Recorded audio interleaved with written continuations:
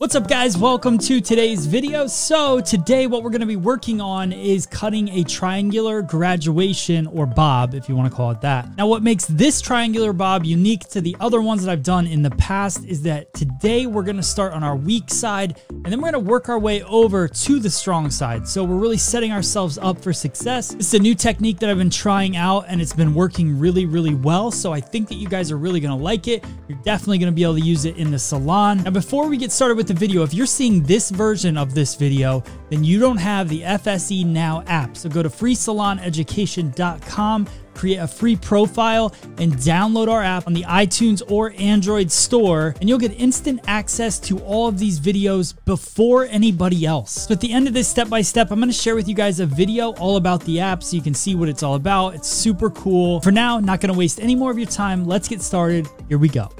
All right, guys, so the focus of today's video is going to be cutting a triangular bob. Now, a couple new things about this particular technique is um, I'm going to be working from my weak side to my strong side. Now, that is something that uh, I picked up recently, and I loved the tip. So I want to go through the sectioning. Sectioning is straight down center back. Uh, and then that first parting that I'm taking is going to mimic the jawline. So really stay focused on that but we're going to keep the sectioning nice and simple. So mimic the jawline and then clip it up and away. Now notice I push that hair with the comb. I get the grain of the hair, the base of the hair going in the same direction, and then I just slide a clip up underneath. That makes it easier for sectioning later. Now you'll also notice that I'm wearing gloves. I'm wearing gloves because of our current situation uh, in the industry. Um, I'm personally practicing cutting hair with gloves because I want to see how it feels.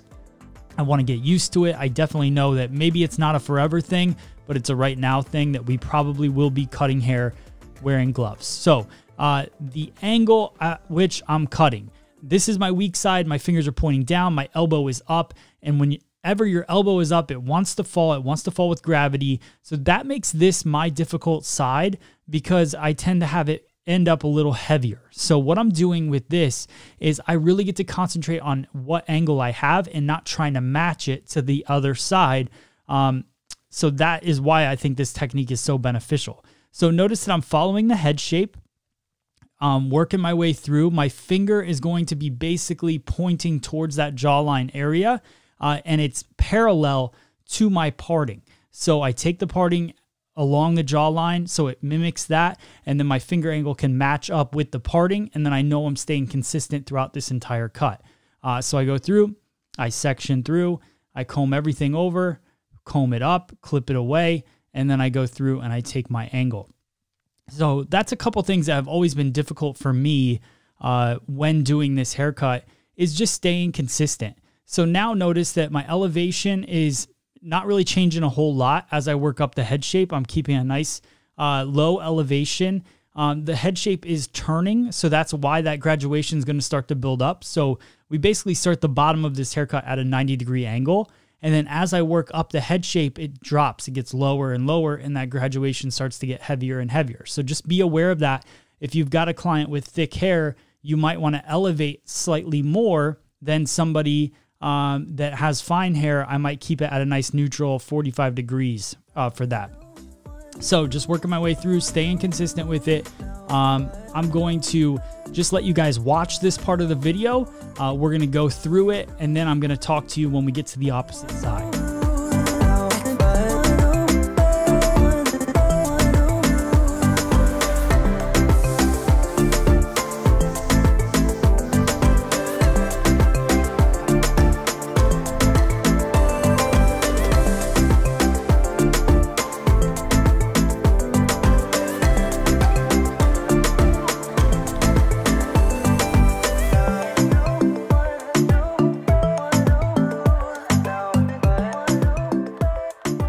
One thing I do want to remind you guys of as I'm working towards the side of the head, the elevation is going to change because the head shape is changing. So right here, um, I'm elevating to keep that above zero degrees. So straight down, straight out uh, would be zero.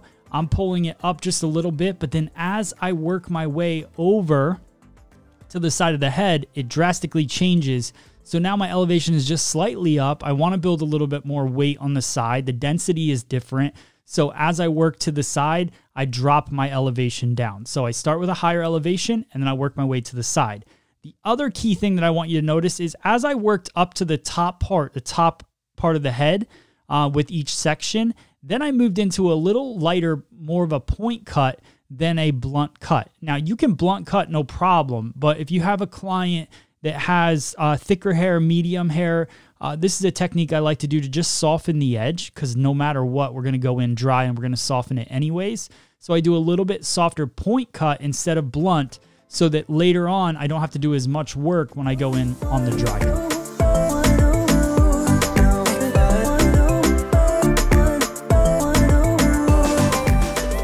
This you'll get a good angle of how much I elevate. Uh, it's not a lot, but I elevate it just slightly so it softens the edge. Now we're going to move on to our strong side. So this is where my fingers are pointing up, my elbow is pointing down. Uh, I can stay way more consistent this way and I just work through. Uh, one other thing that you can see is I'm using the wider teeth of the comb. Uh, I don't want to pull a ton of tight tension. Um, that's just the way I like to do. I like to have a little more freedom in my shape. Uh, so I use the the wide teeth of the comb. They're not that wide. It's a, a YS Park 336 comb. Um, Actually, this might be a 334, 334 comb. Sorry about that. Uh, YS Park 334 comb. Um, and I go through and I cut it uh, using those wide teeth. So working diagonal forward through the section, combing everything, clipping it away, just like the opposite side. So we're going to work our way all the way through, try to stay as consistent as possible with our elevation, and then uh, I'll catch you on the dry cut portion.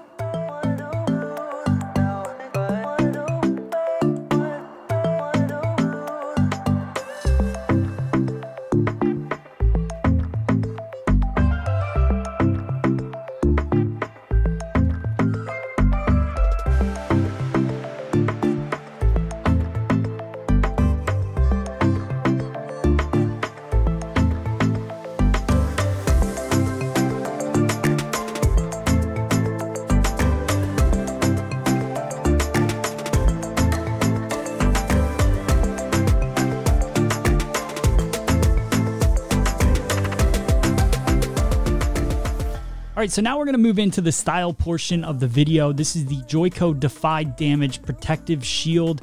Uh, basically, it guards against any thermal or UV damage. So I'm gonna work that through. Gonna be doing uh, not only a flat wrap blow dry, so working the hair around the head, but then also going through with an iron and working uh, that with a flat iron as well to smooth the hair out and get it ready for the dry cut. So work that flat wrap all the way around.